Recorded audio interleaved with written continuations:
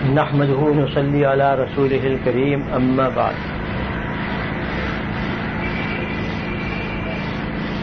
فأعوذ بالله من الشيطان الرجيم، بسم الله الرحمن الرحيم. ثم لتسألن يومئذ عن النعيم. محترم حضرات اور معزز خواتین آگے پیچھے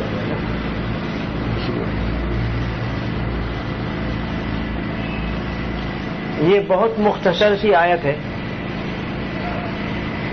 جو پارہ ام میں ہے اور چھوٹی صورتوں میں ہے۔ ہر نمازی کو تقریباً یاد ہے۔ اس صورت کے اندر کچھ آخرت کا منظر کھینچا گیا ہے۔ جہنم کے سامنے ہونے کا بھی ذکر ہے۔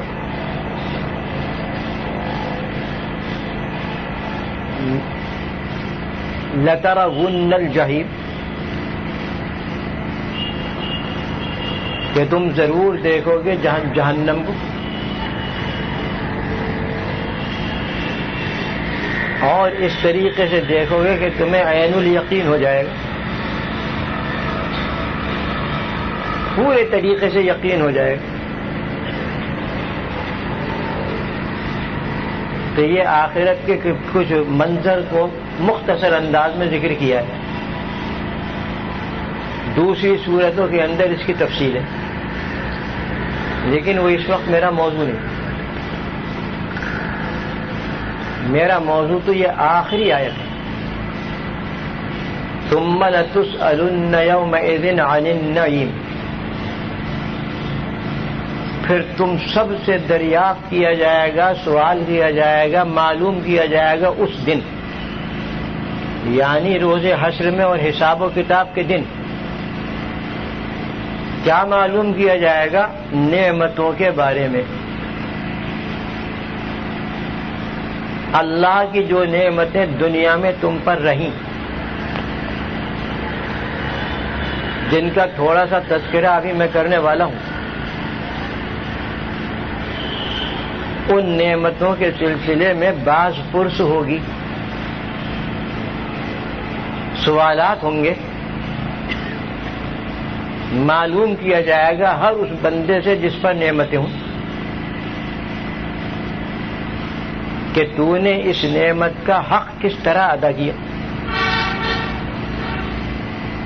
اور فولا نعمت کا حق کس طرح ادا کیا۔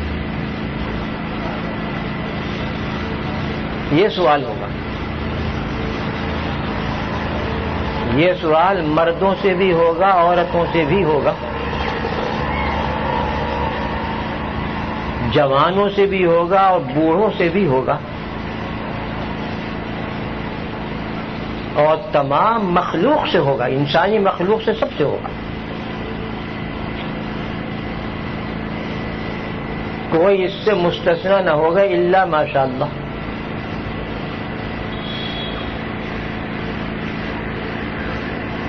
بہرحال نعمتوں کا سوال ہوگا۔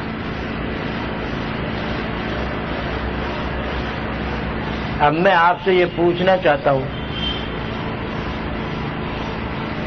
کہ کیا اللہ تعالی کی نعمتیں محدود اور تھوڑی ہیں یا بے شمار ہیں؟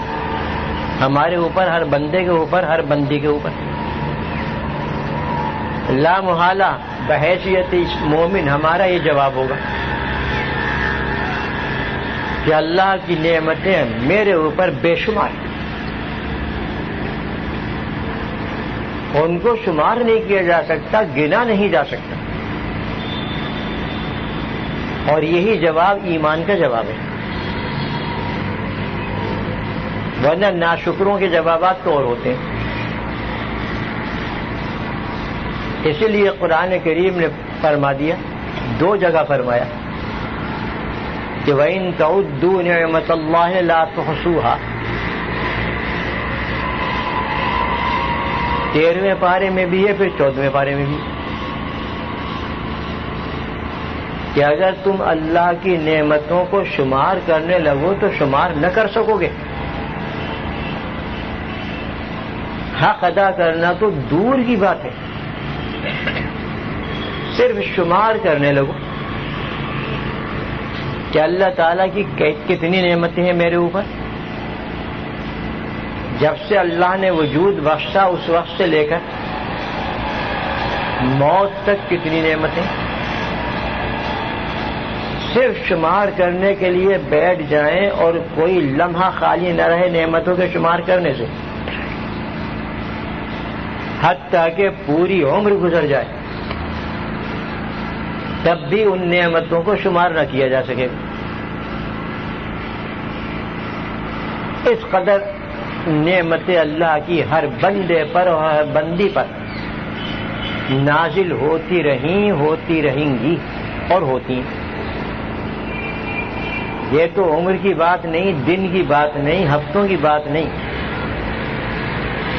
حقیقت تو یہ ہے کہ ایک لمحے میں اللہ تعالی کی بے شمار نعمتیں نازل ہو جاتی کیا بندہ ان کا شکر ادا کر سکتا ہے؟ شیخ سعدی نے صرف ایک مختصر سی بات کہی۔ اسی سے اندازہ لگا لیجیے کہ اللہ کی کتنی نعمتیں انہوں نے مثال دے کر فرمایا کہ سانس انسان کا جب باہر آتا ہے تو یہ بھی ایک نعمت، بہت بڑی نعمت۔ پھر اندر جاتا ہے تو یہ بھی ایک بہت بڑی نعمت۔ اگر باہر کا سانس باہر رہ جائے یا اندر کا سانس اندر گھٹ کر رہ جائے، کیا ہوگا نتیجہ؟ یہ جو ہر وقت سانس کی آمد و رفت ہے معلوم نہیں کہ کتنے بے شمار سانس ہم میں سے ہر ایک لیتا ہے۔ حضرات صوفیاء کرام نے جو اپنی عمر کے ایک ایک لمحے سے کام لیتے ہیں، انہوں نے اندازہ لگا کر بتایا ہے کہ انسان کا سانس یعنی اس کی آمد و رفت چوبیس گھنٹے میں چوبیس ہزار مرتبہ ہوتی اب اس سے اندازہ لگائیے یومی آئے۔ چوبیس ہزار مرتبہ یومیہ سانس کی آمد و رفت ہے۔ جس کے اوپر ہماری زندگی کا دار و مدار ہے۔ عمر میں کتنے ہو جائیں گے؟ ہم شمار نہیں کر سکتے۔ تو صرف یہی معمولی سی مختصر سی دو نعمتیں کے ساتھ باہر آیا اور اندر گیا۔ اتنی بڑی نعمتیں ہیں کہ انسان کا وجود دنیا کے اعتبار سے اور زندگی کے اعتبار سے اسی پر موقف ہے۔ اور یہ یومیہ چوبیس ہزار مرتبہ ہر انسان کو حاصل ہوتا ہے۔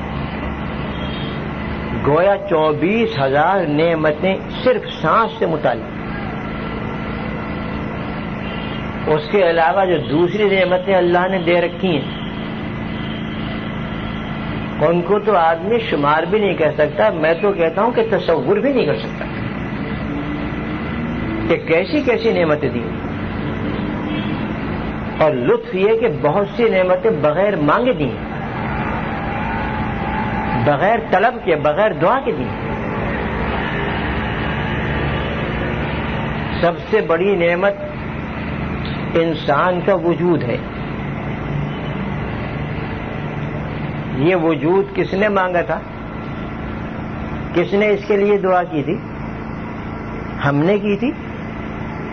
ہمیں تو پتہ بھی نہیں۔ محض اپنے فضل و کرم سے مفت میں بغیر مانگے اللہ نے عطا فرما دیا۔ اور یہ وجود انسانی بے شمار نعمتوں کا سبب ہے اور بے شمار ترقیوں کا سبب ہے۔ جو اللہ نے مفت میں عطا فرما دی ہمیں اس کا احساس بھی نہیں۔ کہ یہ ہمارا وجود اللہ رب العزت کی کتنی بڑی نعمت ہے۔ چلیے دنیا میں آگے۔ جب دنیا میں آئے تو آتے ہی فوراً ہم نے رونا شروع کر دی اور یہ رونا ہمارا علامت ہے، ہماری حیات۔ کی اگر کوئی بچہ نہ روئے، پیدائش کے وقت تو سمجھتے کہ مرا ہوا ہے۔ رونے لگے تو سمجھتے ہیں کہ زندہ ہے۔ وہ بیچارہ جب دنیا میں آیا تو رونے لگا کہ میں کون سے قید خانے میں آ گیا اور کون سی ایسی جگہ پر آ گیا کہ جہاں پر مجھے راحت و آرام نہیں ملے گا؟ رو رہا ہے اس لیے۔ گویا ایک بات اس سے معلوم ہوئی کہ اصل انسانی فطرت میں رونا ہے۔ جب تک زندہ ہے، روتا رہے گا۔ یا تو دنیا کی مصیبت کی وجہ سے، یا آخرت کے تذکرے اور اللہ رب العزت کے خوف سے۔ ہنسی اور خوشی تو اس کے، اس کی قسمت میں بہت کم ہے۔ رونا اور گریا ازاری اور غم زیادہ ہے۔ حضرت علی کرم اللہ وجہ کا ایک فرمان مجھے یاد آ گیا۔ بڑا عجیب و غریب فرمان ہے۔ فرمایا اپنے خاص احباب کو نصیحت کرتے ہوئے کہ جب تم دنیا میں آئے یعنی تم پیدا ہوئے تو تم رو رہے تھے اور پورے خاندان والے اور رشتے دار خوش ہو رہے تھے۔ ایسا ہی ہوتا ہے۔ پیدا ہونے والا بچہ تو روتا ہے۔ گھر والے خوش ہوتے خوشیاں مناتے فرمایا، ٹھیک ہے۔ لیکن جب اس تم اس دنیا سے رخصت ہونے لگو، تو اس وقت یہ منظر ہونا چاہیے کہ تم خوش خوش جاؤ گھر والے رو رہے ہیں اس کے برعکس جاؤ۔ میں یہ عرض کر رہا تھا کہ صرف اس وجود کو ہی دیکھ لیجیے انسان کی۔ کتنی بڑی نعمت۔ ہمیں اس کا پتہ بھی نہیں اور احساس بھی نہیں۔ کیا ہم نے آج تک یہ اس طرح اللہ کا شکر، اس طرح اللہ کا شکر ادا کیا ہے کہ اللہ تیرا شکر ہے کہ تو نے ہمیں وجود بخشا۔ پھر وجود بخشنے کے ساتھ ساتھ ہمیں انسان بنایا۔ جانور بھی بنا سکتا تھا، ہمیں کتا بھی بنا سکتا تھا، خنزیر بھی بنا سکتا تھا۔ اور پھر انسان بنانے کے ساتھ ساتھ اپنے، اپنی معرفت، اپنی اور اپنے اپنے رسول کی محبت یعنی اسلام سے ہمیں واقف کیا اور اسلام پہ یہاں پہ پیدا کیا کسی نے آج تک یہ شکر ادا کیا ہے؟ ذرا غور فرمائیے۔ حالانکہ یہ بڑی عجیب نعمت ہے۔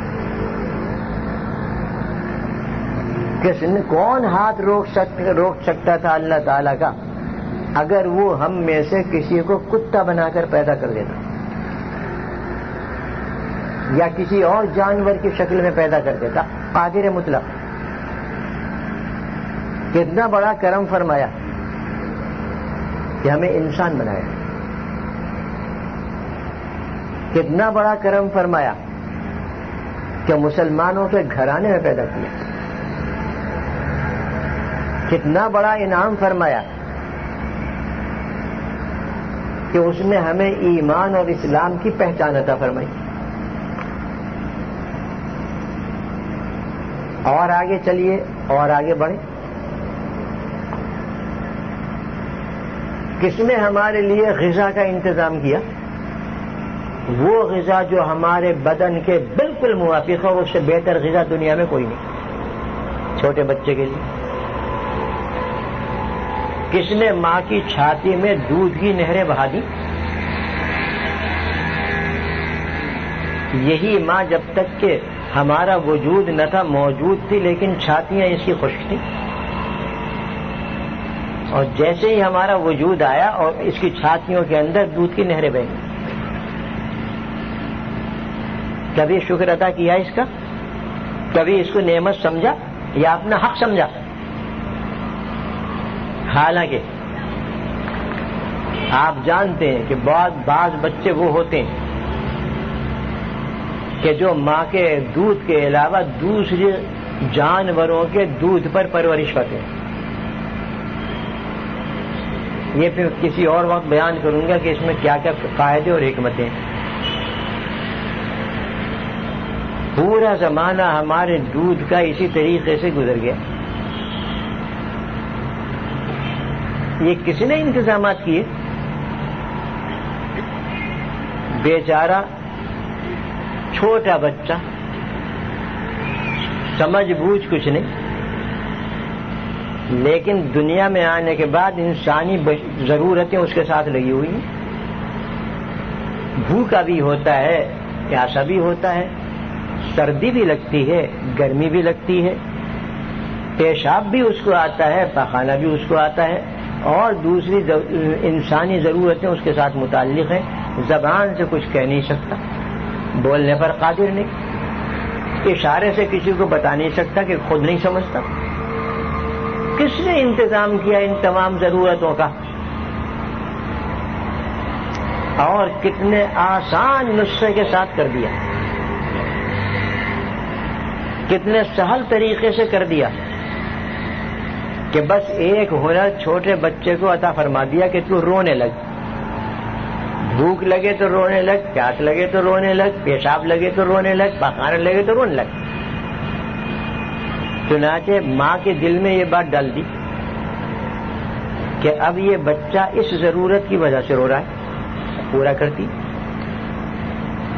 اس لیے کہ بچے اور ماں کے درمیان ایک عجیب و غریب رشتہ ہے۔ جو زبان سے بیان نہیں کیا جا سکتا۔ ماں اپنے بچے کی ضرورتوں کو سمجھ جاتی ہے۔ کیسے سمجھ جاتی ہے؟ یہ صلاحیت ماں میں کس ماں کے اندر کس نے پیدا کی؟ ایک چھوٹا سا بچہ اور اسے اپنے آپ کو ہی سمجھیے، اس کی ضرورتوں کی کفالت ایسے کریے اگر خدا نہ کرے کسی بچے کی ماں پاگل ہو پھر کیا ہوگا؟ وہ کیسے سمجھے گی اور کیسے ضرورتیں پوری کرے گی؟ کبھی اس کے اوپر شکر ادا کیا؟ حالانکہ اتنی عظیم نعمت۔ ایسے ہی بڑھتے چلے جائیے آگے کی طرف۔ عمر زیادہ ہوتی چلی جائے گی اور نعمتوں کے انبار کے انبار ہمارے اوپر آتے چلے جائیں گے۔ اسی طریقے سے انسان اللہ کی بے شمار نعمتوں میں ہر ہر لمحے بے شمار نعمتوں کے اندر لوٹ پوٹ کر زندگی گزارتا ہوا موت تک پہنچ جائے گا۔ نعمتوں میں لوٹے گا، لوٹ رہا ہے۔ لیکن اس کا احساس کسی کو نہیں۔ کوئی شکریہ ادا کرنے والا نہیں۔ اس رب جلیل کا۔ جس نے یہ انتظامات فرمایا اور یہ نعمت عطا فرما دی بظاہر اس کی وجہ یہ ہے کہ ان تمام چیزوں کو انسان اپنا حق سمجھتا ہے۔ حالانکہ یہ حق نہیں۔ بلکہ یہ تو انعام ہے اور نعمت ہے۔ حق سمجھنے کی وجہ سے اس وقت اس ناشکری کے اندر مبتلا ہو گیا۔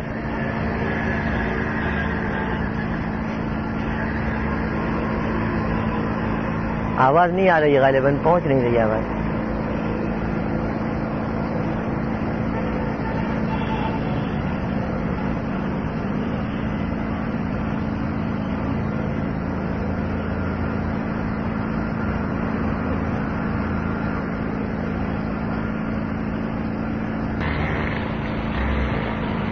تو ذرا یہ غور کر کے بتائیے کہ ہم میں سے کتنے ایسے ہیں جو ان چیزوں کو نعمت سمجھیں اور پھر ان کا شکر ادا کریں؟ اکثریت وہ ہے کہ جن کو اس کا خیال بھی نہیں۔ اور اس کی وجہ بظاہر یہ معلوم ہوتی کہ ان تمام نعمتوں کو انسان اپنا حق سمجھتا ہے۔ حالانکہ حق نہیں بلکہ اللہ کی جانب سے انعام ہے، احسان ہے۔ اس لیے وہ شکر ادا نہیں کرتا۔ بات میری پھر رہ جائے گی، مجھے تو اس وقت اتنا عرض کرنا تھا کہ نعمتوں کا شمار کوئی نہیں کر سکتا۔ اور ان نعمتوں ہی کے سلسلے میں دریافت کیا جائے گا۔ بلکہ مواخذہ ہوگا باس پرس ہوگی کہ فلاں نعمت کا کیا شکر ادا کیا اور فلاں کا کیا شکر ادا کیا۔ اس دنیا کے اندر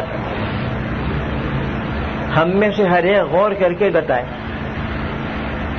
کہ اس کی نظر میں سب سے بڑی اہم اور عظیم چیز کیا ہے۔ اس میں مومن، کافر مرد اور عورت سب برابر ہیں۔ ہم میں سے ہر ایک کی نظر میں اللہ کی عطا کردہ یہ عمر عمر عزیز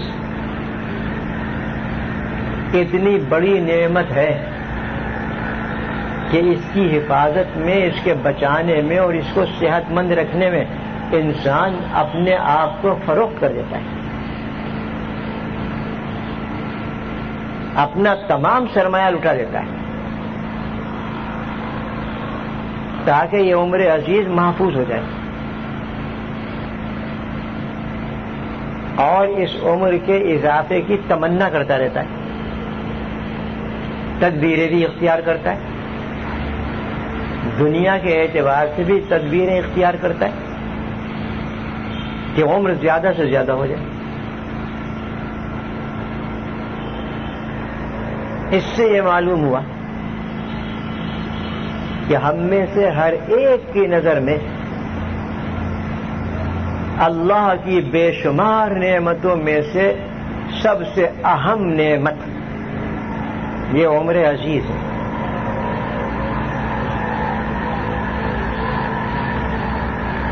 اور یہ کافر کے نزدیک بھی ہے، مومن کے نزدیک بھی ہے۔ مرد بھی اسی کے اندر ہے اور عورتیں بھی اسی کے اندر داخل جب یہ سب سے بڑی نعمت ہے، تو ذرا بتائیے کیا اس عمر کے بارے میں سوال نہیں ہوگا؟ آپ ذرا غور کر کے سنیے۔ اور اپنی حالت کا جائزہ لیجیے۔ میں بھی آپ کے اندر داخل ہوں، بلکہ آپ سب سے کمتر اور بدتر ہوں۔ جواب آپ سے لیتا نہیں، صرف غور کرنے کی دعوت دیتا ہوں۔ دعوت فکر دے رہا ہوں کہ ذرا اس پر غور کریں۔ یہ عمر عزیز اللہ نے عطا فرمائی، کسی کا اس میں اختلاف نہیں۔ یہ ہماری عطا کی ہوئی نہیں۔ کسی بندے کی دی ہوئی نہیں۔ صرف اللہ کی دی ہوئی۔ اور یہ عمر عزیز، بہت بڑی نعمت اور اللہ تعالی کا کرم۔ ہے اس میں بھی سب کا اتفاق۔ لیکن اس عمر عزیز کا شکریہ ہم نے کس طرح کا کیا؟ یہ ہے جواب طلب کی۔ کیا ہم نے اپنی اور اپنی اولاد اور اہل و عیال کی عمر کا شکریہ ادا کیا ہے؟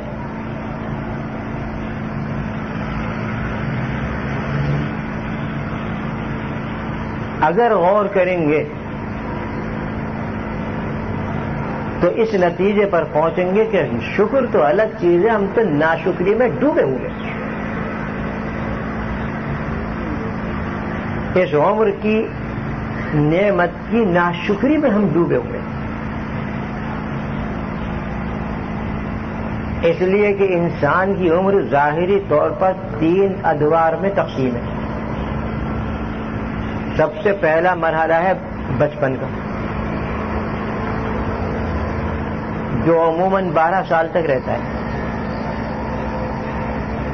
یا پندرہ سال تک۔ اس کے بعد مرحلہ شروع ہوتا ہے جوانی اور شباب کا،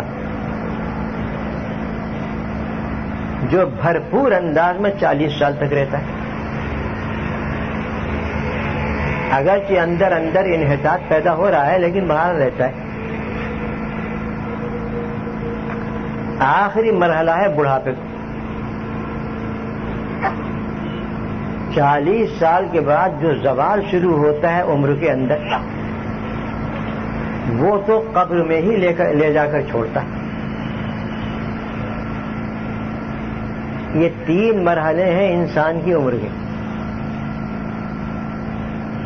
پہلے مرحلے کا جائزہ لیجیے۔ کیا شکر ادا کیے؟ وہ زندگی بچپن کی تو کھیل کود کی زندگی ہوتی ہے۔ ہم بھی اسی طرح تھے، آپ بھی اسی طرح تھے۔ تو سب سے بڑا مقصود اور سب سے زیادہ مزہ ہمیں کھیل کود میں آتا تھا۔ اور یہ بچے کی فطرت ہے، کوئی ایسی ناجائز چیز نہیں۔ فطرت ہے۔ قرآن کریم فرما رہا ہے ان نمل حیات دنیا لڑے گوں ولا لمو ان نمل حیات دنیا لڑے ولا یہ انسان کی عمر کا پہلا مرحلہ بیان کیا۔ کہ دنیا کی زندگی جانتے ہو کیا ہے؟ یہ چند حصوں میں تقسیم ہے۔ پہلا ہے بچپن کا مرحلہ، کہ جس میں کھیل کود میں وقت گزر جاتا ہے۔ اب جوانی آئی۔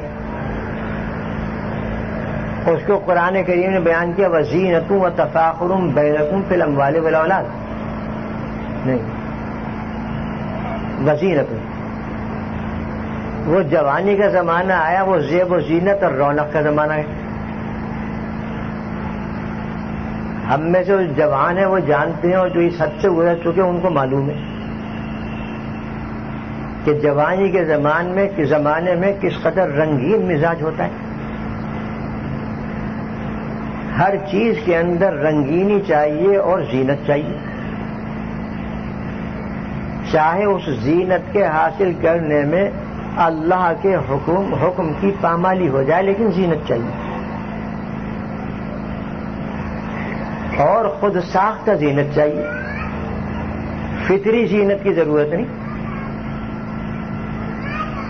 اسی لیے بہت سے نوجوان، بلکہ اکثریت اور غالب اکثریت اپنے چہروں کو چھیلتی ہے کیونکہ اس نوجوانی کے زمانے میں زینت مقصود ہے۔ اور شیطان نے یہ پٹی پڑھا دی کہ مردوں کے لیے زینت ہے داڑیاں چھیلنے میں۔ یہ شیطان کی پٹی ہے۔ قرآن کہہ رہا ہے، میں نہیں کہہ رہا۔ اس نے یہ دھوکہ دیا ہے کہ مردوں کی زینت ہے داڑیاں چھیلنے میں۔ خوب چھیلو۔ اور عورتوں کی زینت ہے سر کے بال کٹوانے میں۔ یہ شیطان کا دھوکہ ہے اور اس کی پٹی ہے۔ کہ بتاتا چلوں کیونکہ آپ ذرا اس پہ وہ ہو گئے چونک گئے ہیں کہ میں کیا کہہ رہا ہوں۔ میں نے کہا میں خود نہیں کہہ رہا، قرآن نے بتایا ہے۔ جب ابلیس کو نکالا گیا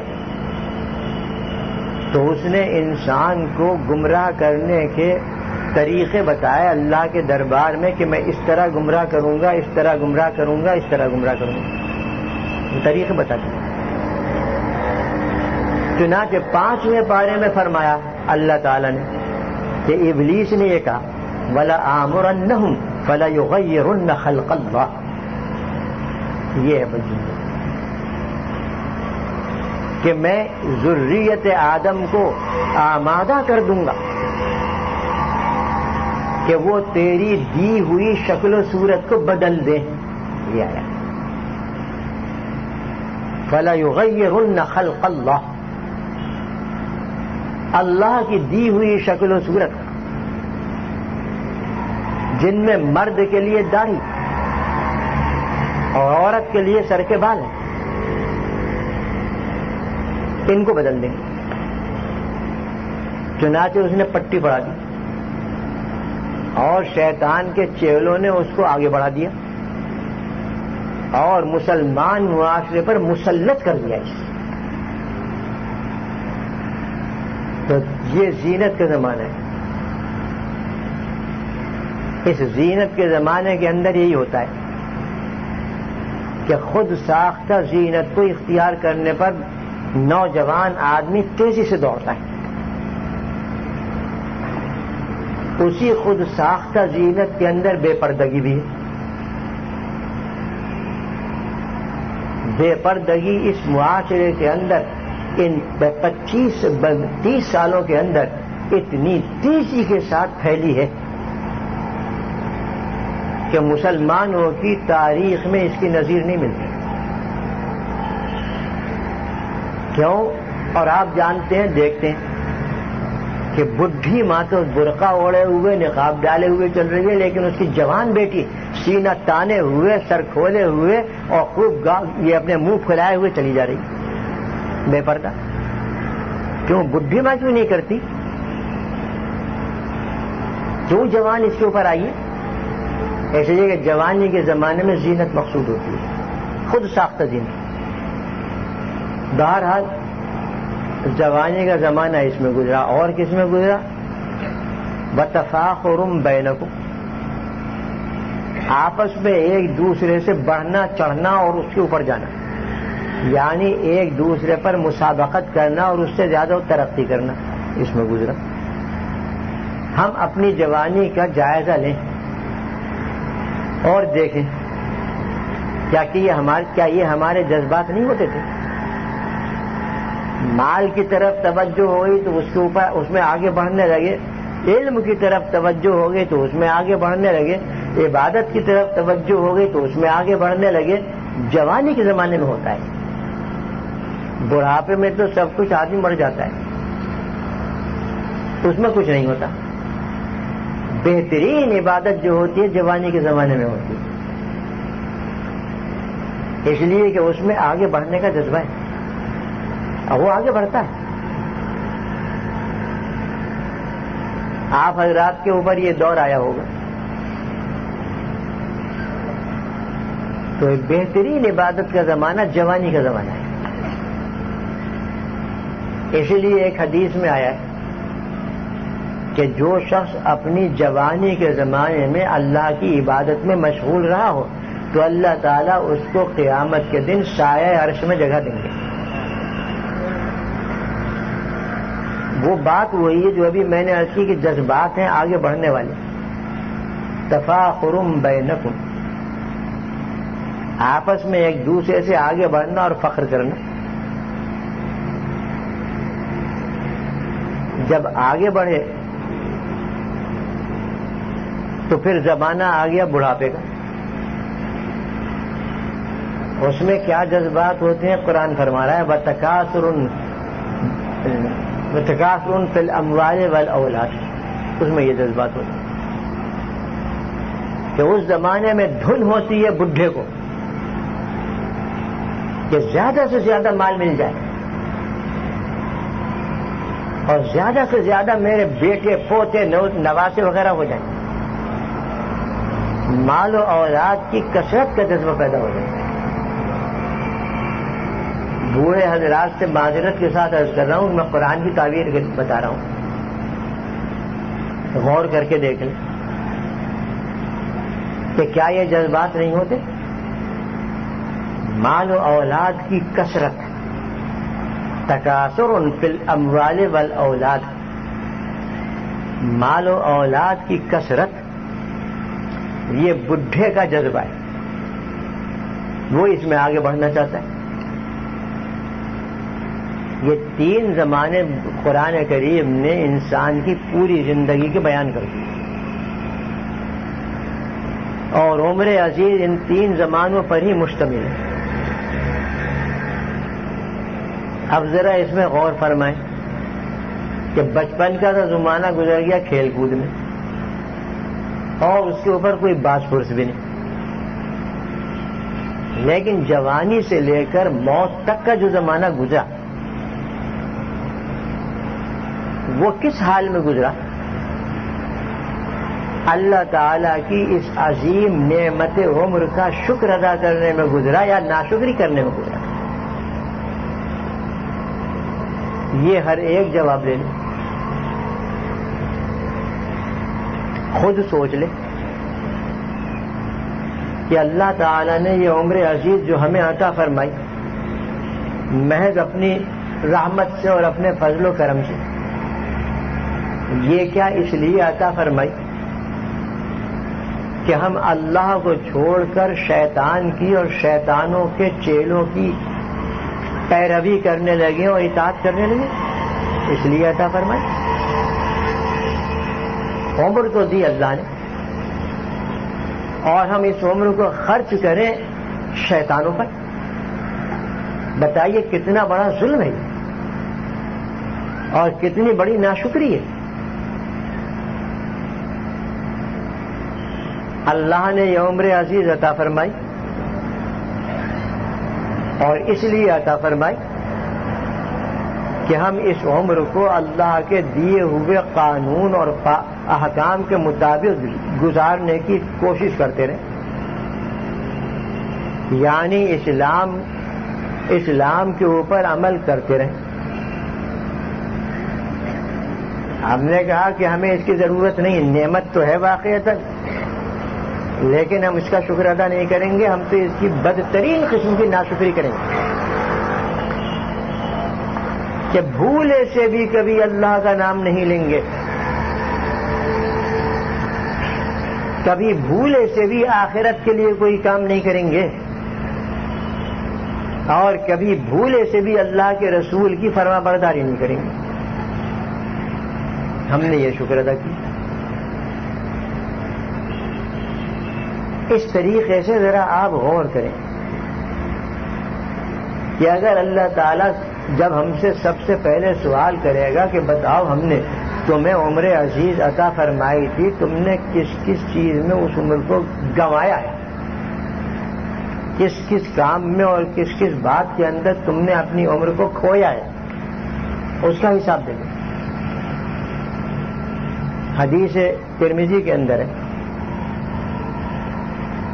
کہ اللہ تعالیٰ ہر بندے سے عمر کا حساب لے گا۔ اور جب سے وہ بالغ ہوا ہے، اس وقت سے لے کر موت تک،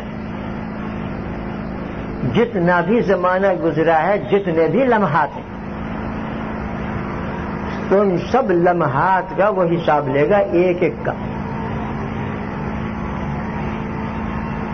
کہ مثلا تم نے اپنی زندگی میں ستمبر کی فلاں تاریخ کو فلاں دن صبح کے وقت کیا کیا کام کیا اس کا حساب دے دو۔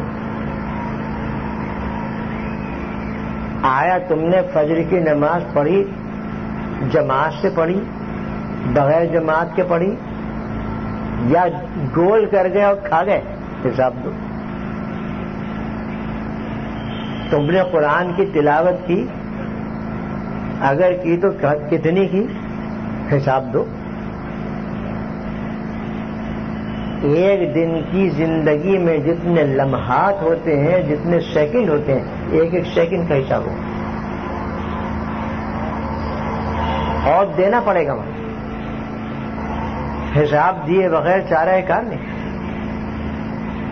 ہر بندہ دے گا۔ اس کی عمر بھر کا چٹھا۔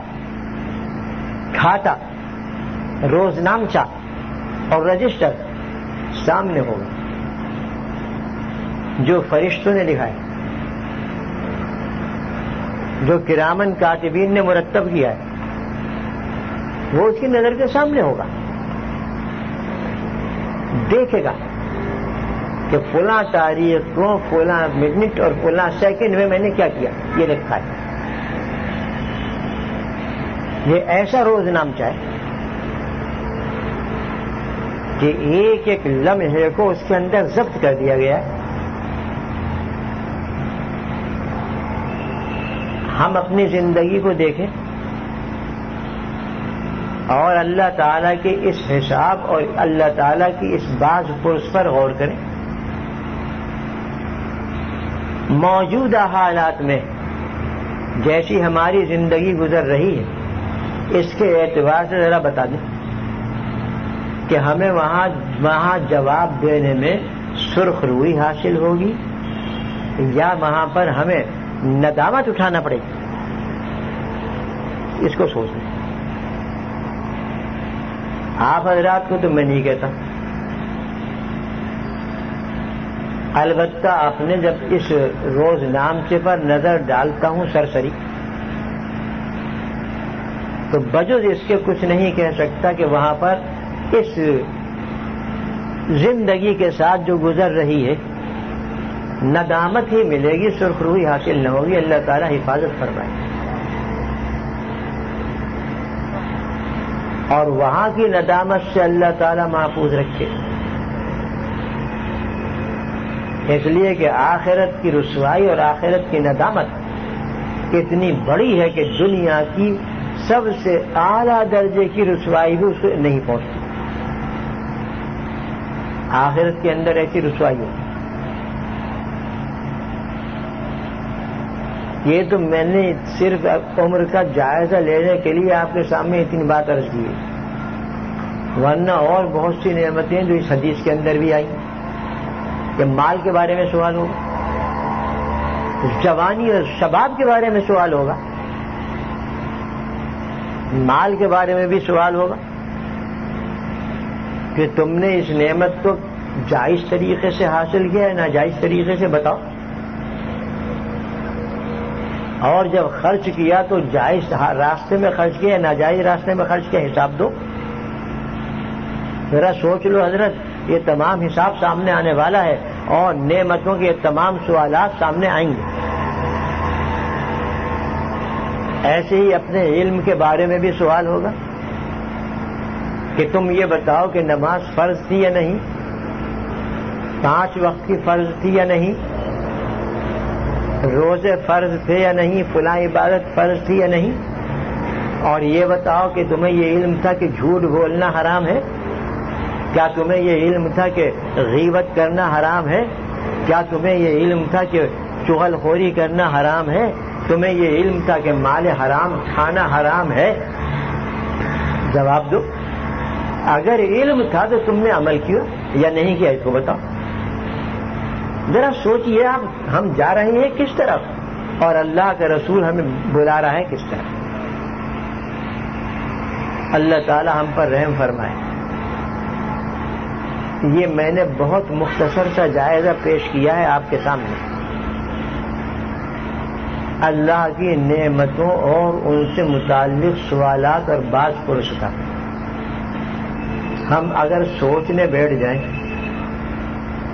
کہ ہم ان نعمتوں میں سے بڑی بڑی نعمتوں کا کیا جواب دیں گے، تو ہم سوچ نہ سکیں۔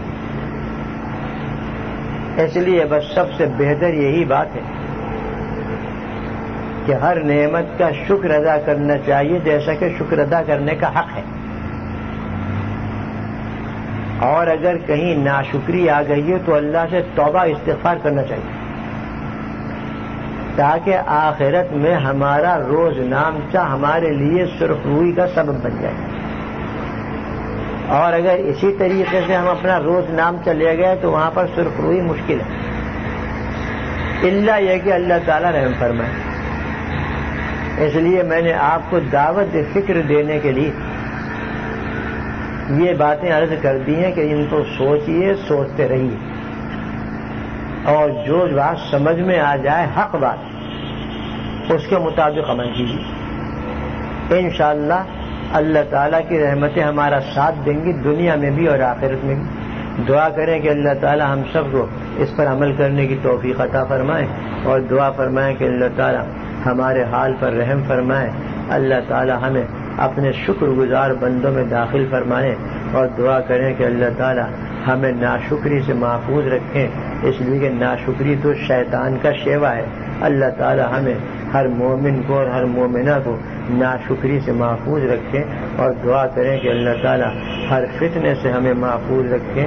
شیطانوں سے اللہ تعالی ہمیں اور ہمارے اہل و عیال کو پورے طریقے سے محفوظ رکھیں اور اللہ تعالی ہم سب کو دنیا اور آخرت میں اپنی خصوصی رحمتوں میں رکھیں۔ میرے بعض احباب یہاں بیٹھے ہیں، ان کے صاحبزادے بیمار ہیں کافی عرصے سے اور وہ پریشان بھی ہیں۔ ان کے لیے دعا کر دیں۔